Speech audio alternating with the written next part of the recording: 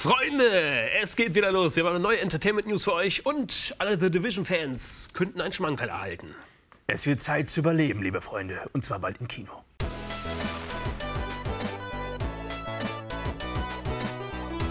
Liebe Freunde, wir haben ja eine richtig tolle Nachricht für alle Fans von The Division.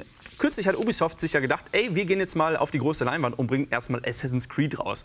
Ein Film mit Michael Fassbender, ja, welcher so ein bisschen durchwachsene Kritiken hatte. Aber die Fans haben es eigentlich gut aufgenommen. Ähm, interessant ist da noch eine kleine Side-Note. Michael Fassbender hat in einem Interview gesagt, dass er sich eine Trilogie wünscht. Ja? Und äh, dann könnten wir eigentlich diese ganze Film-Epos-Geschichte verstehen. Aber Ubisoft ist also ein bisschen jetzt heiß geworden, Filme zu machen. Also die haben Blut geleckt und haben direkt den nächsten Kracher am Start. Und zwar The Division. Genau, das wird nämlich in Zusammenarbeit mit Massive Entertainment produziert.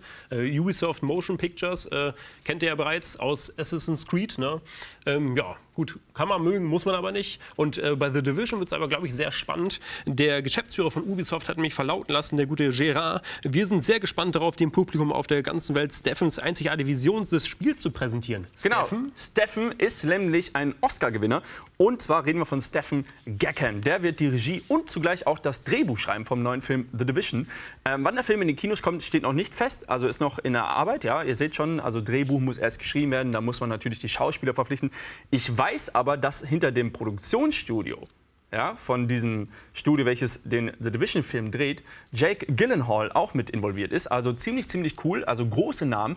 Bleibt aber letztendlich die Frage, kann Ubisoft diese Atmosphäre von diesem Spiel, also nicht, ich rede nicht von dem Content-Spiel, sondern von dieser grandiosen Atmosphäre von The Division einfangen, auch auf die große Leinwand zu bringen, ähm, das bleibt dann letztendlich die Frage, die wir uns alle stellen müssen, weil mit Assassin's Creed, oh, ja, es bleibt auf jeden Fall sehr spannend. Wir haben ja natürlich dann diese postapokalyptische Manhattan-New York-Welt. Die bietet natürlich sehr viel Potenzial und die Verantwortlichen haben jetzt auch schon bekannt gegeben, dass sie gewillt sind, Risiken einzugehen mit den Filmen und ein sehr hohes Maß äh, auf die Story legen. Also genau. es könnte etwas kommen, was wir vielleicht so in der Form gar nicht erwarten. Also ich würde mich da jetzt gar nicht mal so an Assassin's Creed orientieren oder so.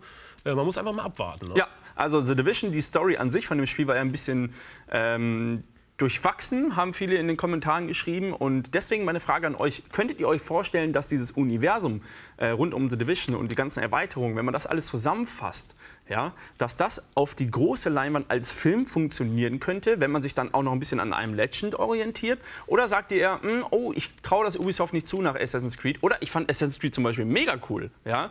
Wenn das eure Meinung ist, lasst es uns unter den Kommentaren wissen. Wir wünschen euch noch einen fabelhaften Tag. Ich hoffe, dass ihr nicht draußen im verschneiten äh, postapokalyptischen Ort seid, sondern dass ihr einen schönen Tag habt. Genau, in Köln.